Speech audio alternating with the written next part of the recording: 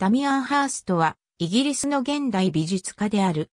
Young British Artist と呼ばれる1990年代に頭角を現してきたコンテンポラリーアーティストの中でも代表的な存在である。特に Natural History という死んだ動物をホルムアルデヒドによって保存したシリーズが有名。ダミアン・ハースト。背景は spot painting の一作ハーストはイングランド西部のブリストルで生まれ、北部の都シリーズで育った。ハーストが12歳の時に父親が家を出てしまい、その後万引きで逮捕されるなど荒れた生活を送るしかし、リーズのリーズカレッジオブアートに入学して学ぶ機会を得る。その後ロンドンの建築現場で2年間働いた後、さらに1986年から1989年まで、ロンドン大学のゴールドスミスカレッジでも学んでいる。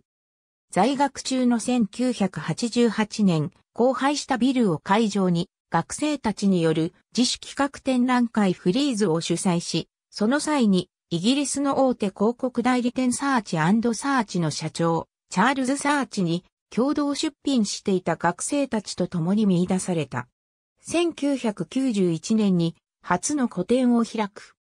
その時までには巨大なガラスケースや死んだ動物、薬品瓶などを作品に使用して生や死を制作するスタイルは確立されていた。同時に白いキャンバスにカラフルな色の斑点を規則的に配するスポットペインティングも描いている。このスポットは覚醒剤の錠剤の暗示であると言われている。輪切りや腐敗状態で放置された動物を扱う作品は不可避である生や死を考える意図があったが、残酷さへの批判や芸術品には見えないなどという多くの非難も呼んだ。イギリス国中にその悪名が轟くようになったハーストは1993年イギリス代表として国際美術展覧会ベネツィアビエンナーレに出展、縦に真二つに切断された牛と子牛をホルマリン漬けにした作品 Mother Child, Divided を出した。この作品で1995年にはターナー賞を受賞している。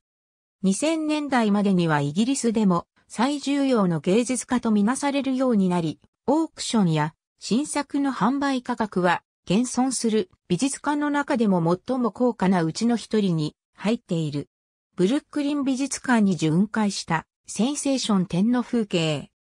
正面のサメの入ったガラスケースの作品がダミアン・ハーストの少女の心における死の物理的不可能性そのセンセーショナルな作品に対する批評家の反応は今でも論争の的である。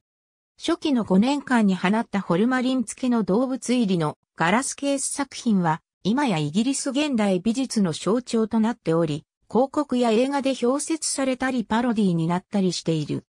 しかし、ハースト自身が認めているように、1995年以降は深刻な薬物中毒とアルコール依存症に侵されており、その時期の作品は初期の繰り返しや自己模倣との議論もある。また、ハーストの多くの作品は、彼の助手や技術者の手で主に作られており、彼が作品の作家であるのかどうかも問われている。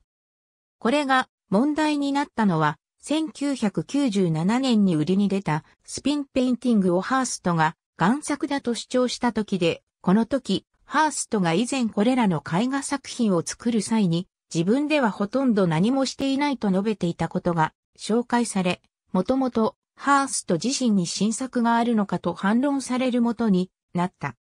彼は1997年、ロンドンの高級住宅地ノッティングヒルで薬瓶を並べたインスタレーションで店内を装飾したレストラン、ファーマシーを共同経営し、先端人種のたまり場としたことがある。薬局業界から本物の薬局と紛らわしいと論争も起こしたが、2003年に閉店した。